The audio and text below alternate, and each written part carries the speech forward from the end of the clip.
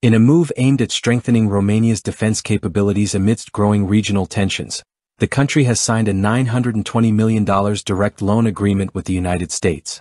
This agreement comes as Romania seeks to modernize its armed forces in response to the ongoing instability exacerbated by Russia's invasion of Ukraine.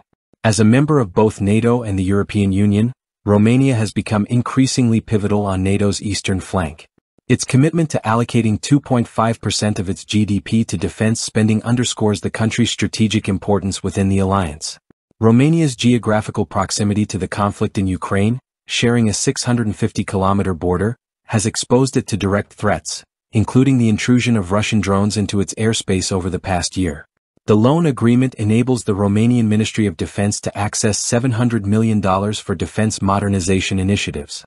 Meanwhile, $220 million of the loan will be directed toward Romarm, the state-owned defense company that manages 15 firms specializing in weapons and ammunition production. The funding will be used for projects ranging from the development of gunpowder to advanced guided missiles. Provided through the U.S. Foreign Military Sales FMS, program, the loan carries a 12-year repayment plan, making it a long-term commitment to enhancing Romania's defense posture. In addition to this agreement, Romania's government authorized the raising of a total of $4 billion through direct loans via the FMS mechanism in August.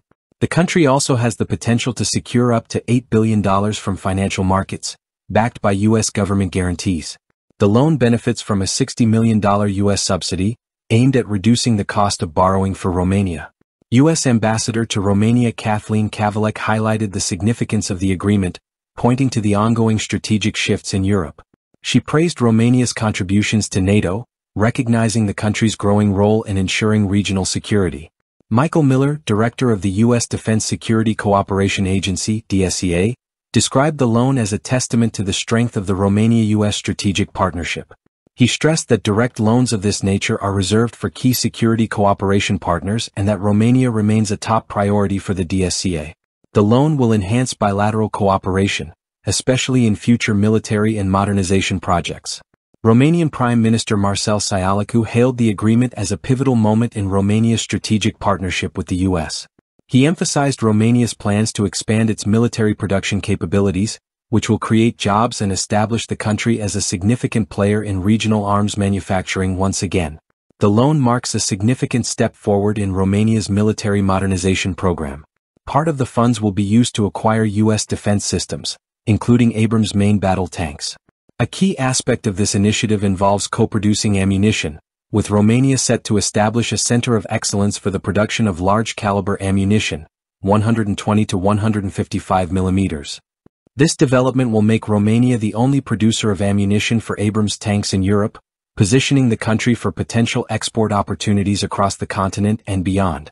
Romania's modernization plans also include the acquisition of next-generation F-35A fighter jets, which will replace the aging fleet of F-16s purchased from Norway. The purchase will include comprehensive support, ranging from pilot training and aircraft maintenance to infrastructure development and updates to electronic warfare databases. Additionally, Romania has committed to acquiring more AAV-7 amphibious vehicles from the U.S. Marine Corps as part of its broader military expansion. This loan agreement is the latest in a series of initiatives aimed at bolstering Romania's defense capabilities.